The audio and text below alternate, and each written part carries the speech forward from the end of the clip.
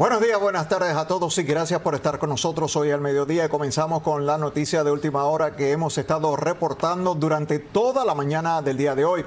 El Tribunal del Distrito Sur de Nueva York presentó la acusación ya formal en contra del alcalde Eric Adams. El documento detalla paso a paso cómo el alcalde aceptó múltiples beneficios durante toda una década mientras estaba ocupando diferentes cargos. Bueno, una de las acusaciones más notorias son las presuntas contribuciones hechas por el gobierno turco para su campaña a la alcaldía, esto en el 2021. Derivado de esto, el alcalde pues enfrenta ahora cinco cargos que incluyen conspiración, soborno y fraude.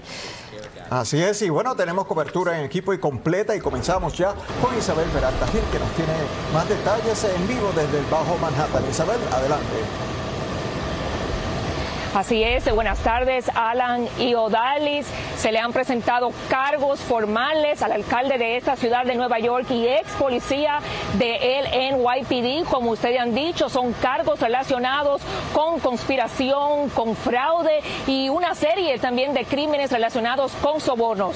Estos son los cargos. Primero están los cargos eh, de los que se le imputan conspiración para cometer fraude electrónico programa federal de soborno y recibir contribuciones para la campaña de extranjeros, fraude electrónico, solicitud de contribución de un extranjero, solicitar contribución de un extranjero, como mencioné, y soborno, y todo esto alega la oficina del fiscal federal de aquí de Manhattan en la acusación a cambio de favores que incluían o que incluyen ayudar a funcionarios turcos a obtener aprobaciones de seguridad contra incendio en un nuevo edificio diplomático de esta ciudad.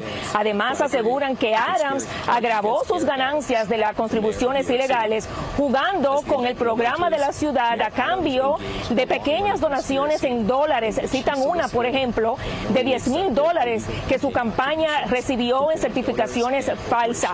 Adams supuestamente solicitó y exigió sobornos, incluyendo beneficios de viajes de lujos gratuitos y con grandes descuentos a funcionarios turcos y estos funcionarios dicen buscaban ayuda de Adams con regulaciones del consulado turco aquí en Manhattan.